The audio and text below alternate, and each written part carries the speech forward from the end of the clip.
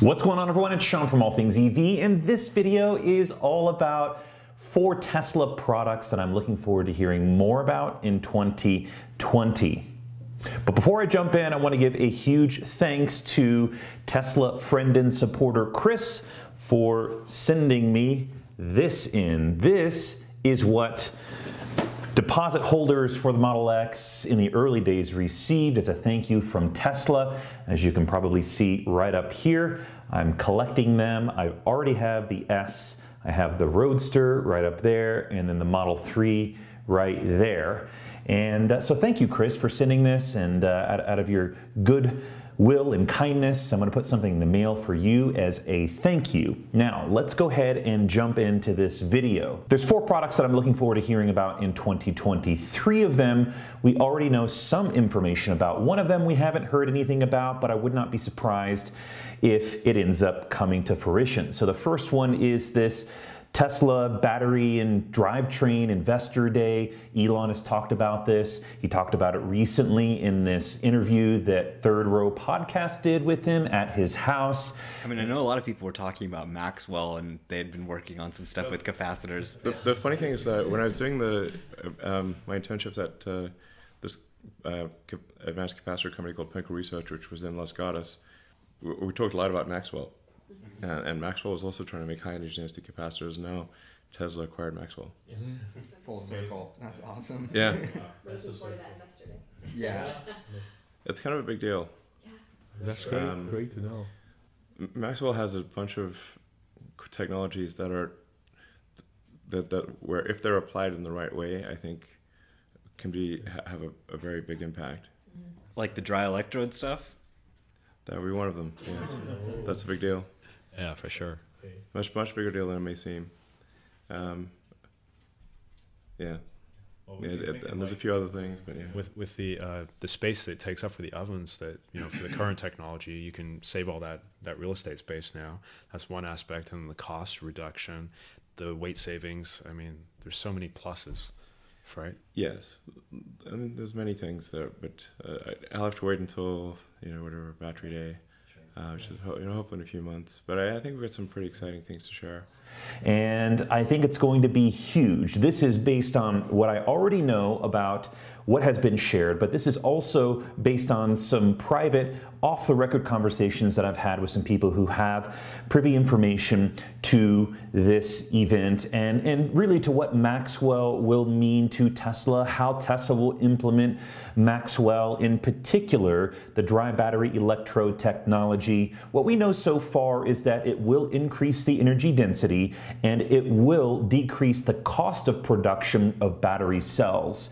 This is in line with this idea that Tesla is very likely going to be creating or producing their own battery cells. They've been making a lot of movement in these areas. I've covered this probably at nauseum. You're probably tired of hearing about Maxwell, but I did all of that research last year in 2019 to understand what the implications are and come to find out it's going to be really really huge so the two things that i think that, that will be sort of the, the headlines as i mentioned are the increase in energy density which likely means that tesla vehicles will for the first time in the EV industry, go above 400 miles on a single charge. This is something that I think everyone is looking forward to. Who doesn't want a, an electric vehicle that goes further on a single charge? It means that you're stopping less to charge on long road trips. It means less concern. It means more buffer if you're in a colder climate and you're on a road trip. But I think what, what is also really exciting is this reduction of of, of cost of producing battery cells. It should take less room to produce the same amount of batteries. It should also take less time to produce these batteries with that dry electrode. So I'm super looking forward to this. And you know what I'll do is uh, I'll, I'll put some, some of my videos that I've done on these subjects in the video description. So if you haven't seen them and you want to do some research prior to this battery and powertrain investor day, you can get caught up to speed.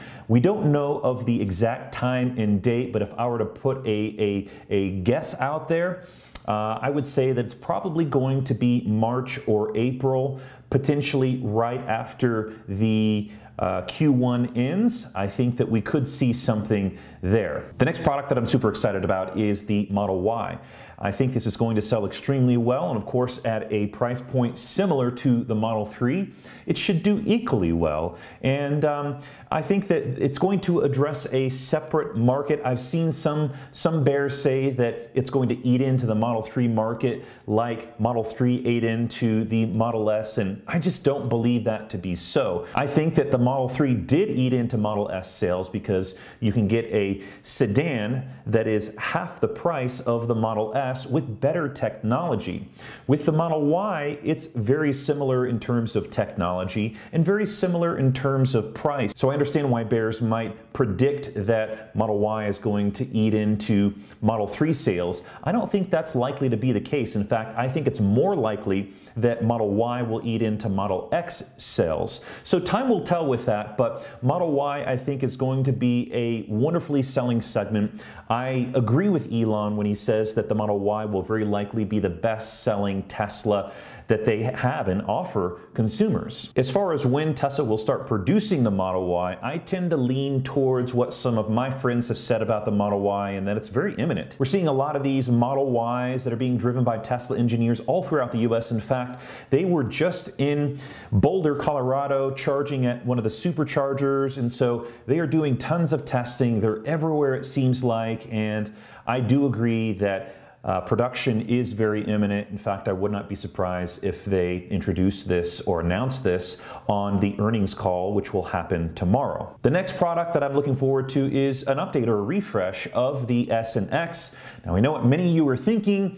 Elon has said that they have no plans to do a refresh, and in general, Tesla doesn't really do refreshes, but they do incremental updates. And so I would not be surprised if Model S and X get a minor update in the interior in particular, as well as the battery packs. I, I think it's time to update it. We've seen that over the course of the last couple of years, the sales of Model S and X have dropped significantly. And I think it's time that Tesla refresh these vehicles as they're top premium vehicles where they introduce the most expensive, most cutting edge technology, which I think will be Maxwell's tech. I would also love to see the vertical display as well as the HVAC system that's in the Model 3 be put in Model S and X. I think there are some significant advantages to that. I think that Model S and X definitely need the version 3 250 kilowatt charge rate because it does not right now. And I think that doing a minor refresh will spur on those new sales for people that either want a larger vehicle where Model 3 and Model Y are a little bit too small. Maybe they've got a larger family and want to fit more in a vehicle. And we, we know that Tesla is working on a plaid powertrain for the Model S. To me, it makes the most sense for Tesla to introduce the most expensive technology that they've acquired with Maxwell into their premium products, spur on the S and X sales again, because they've got the best profit margins. And it won't be high volume initially, so it makes a lot of sense for me that Tesla would introduce the most expensive low volume dry battery electrode battery cells into their premium vehicles first, since they aren't producing a lot of those. And once they get that process down, then roll it downhill to some of their less expensive products. All right, the fourth and final product that I am looking forward to is not one that Tesla has mentioned anything about, but I'm extremely curious to receive an update on where full self-driving and autonomy stands for Tesla. You know, last summer they did a, an autonomy investor day and I found it to be incredibly insightful, although probably 90% of what they covered was way over my head. It was truly remarkable to see how far ahead they are from their competition, that they're producing their own chip, and that they're working on some things in the background like Dojo to be able to process information faster and distribute it out to their fleet of vehicles. This, I think, is cutting edge, and I really do think that this will lead the way for Tesla's autonomy ambitions, and they are definitely huge. I don't know of any other company and any other automaker who has as large of a fleet of vehicles as Tesla does to be able to distribute iterative versions of their semi self driving or full self driving stack. What about you? Are there some products or events that you're looking forward to that I didn't mention in this video? I'd love to hear them in the comments down below. A huge shout out and thanks to my Patreon supporters. Thank you for believing in me and the content that I spend a lot of time producing as a side hustle and side hobby. Thanks everyone for watching, and I'll catch everyone on the next video.